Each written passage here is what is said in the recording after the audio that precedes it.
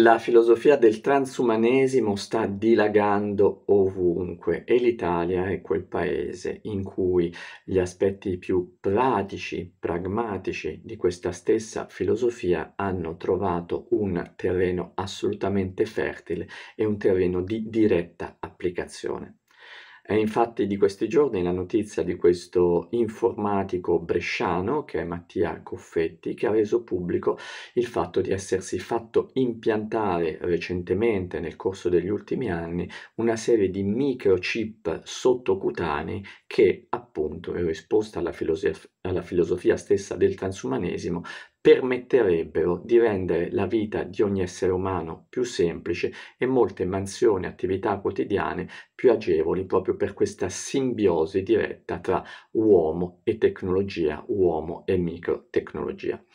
Eh, ci sono vari articoli che sono usciti eh, con queste interviste a Mattia Coffetti, il quale spiega in dettaglio come sia nata questa idea e come si sia sviluppato poi operativamente l'impianto di questi microchip. Ed è molto interessante perché lui ci parla del fatto che già dal 2019 che ha fatto il primo impianto, sono dei microchip che ognuno può acquistare in internet e poi farsi impiantare attraverso l'aiuto di delle ditte specializzate appunto per l'impianto sottocutaneo.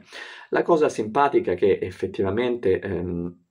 il signor Coffetti ha fatto una, una, scelta con un vasto assortimento di microchip. Uno dei primi è un microchip che serve semplicemente, semplicemente si fa per dire, per aprire e chiudere porte, per aprire e chiudere serrande. Quindi un microchip che agevolerebbe l'uomo in questa mansione che oramai sta diventando impossibile da essere compiuta semplicemente con l'ausilio di un braccio eh, oppure con l'ausilio di un'energia muscolare di un bicipite. Ma detto questo ci sono anche dei microchip molto più complessi nella, nella, appunto, nell'assortimento del signor Coffetti, ce ne sono alcuni che permettono di agevolare dei pagamenti e delle transazioni transazioni bancarie, altri che permettono di condividere il proprio eh, profilo di LinkedIn e altri ancora, come eh, ci ricorda l'informatico bresciano, che addirittura servirebbero a svolgere delle mansioni estremamente complesse, come ad esempio un microchip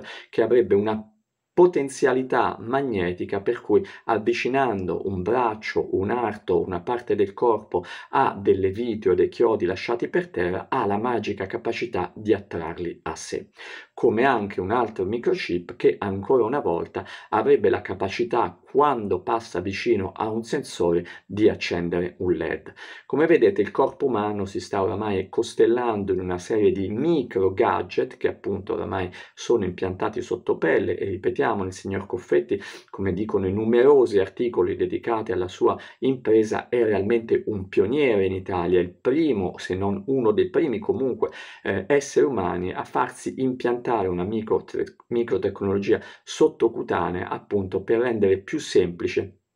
la vita sul nostro pianeta terrestre. E cosa può dirci, cosa può insegnarci l'esempio del nostro informatico bresciano?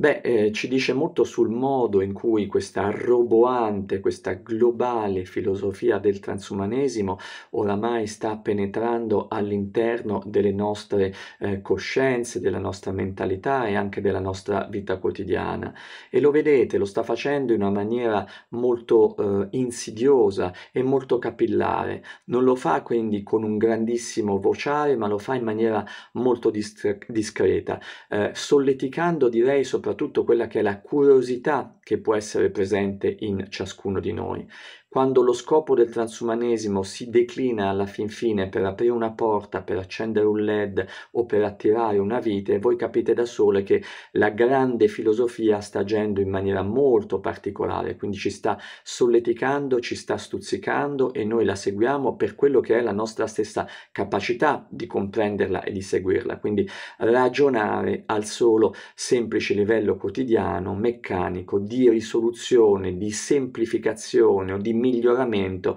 di cose che riguardano francamente una quotidiana, quotidianità direi io un pochino spicciola, un pochino troppo spicciola, ma comunque funzionale evidentemente al modo con cui noi siamo e quello che noi siamo diventati oramai in questa epoca. C'è poi un secondo aspetto interessante ed è quello eh, che riguarda il modo con cui il transumanesimo eh, riesce a far breccia in maniera così potente, portentosa e profonda all'interno di noi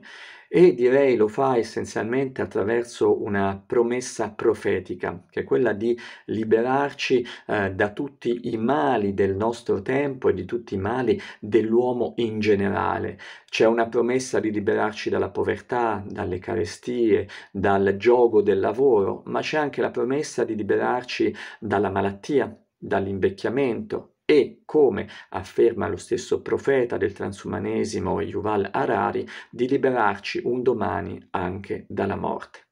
Quindi come vedete il transumanesimo eh, cosa ci dice in fondo? Tu non ti preoccupare, non farti domande angustiose a cui ovviamente potresti solo rispondere con senso critico e con angoscia. Delega a noi, non pensare più a niente, metti la macchina in folle e ci occupiamo noi di dare in maniera prefabbricata tutte le risposte ai quesiti che potrebbero in te creare dell'angoscia.